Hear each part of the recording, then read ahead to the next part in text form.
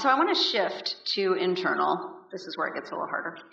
Um, so when internal issues happen, like we've seen with Starbucks, Nike, Uber, and everything typically ends up in the pu- public realm, how does it change how you communicate as a leader? Aman, do you want to comment on that?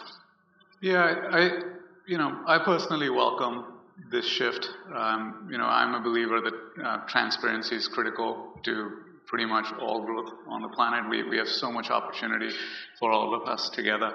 You know, if we can be more transparent, it allows for the others to see those opportunities.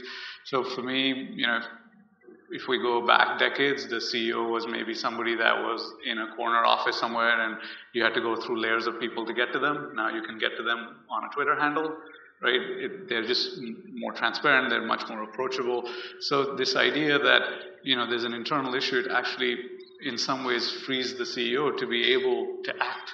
Mm-hmm. And, you know, in, in those examples that, that you just gave, you, we saw the CEOs act right? And I, I, welcome that. I think it goes really well, and maybe it's I welcome it because it goes really well with the core philosophy, which says, you know, if you want to be a better leader, be a better person.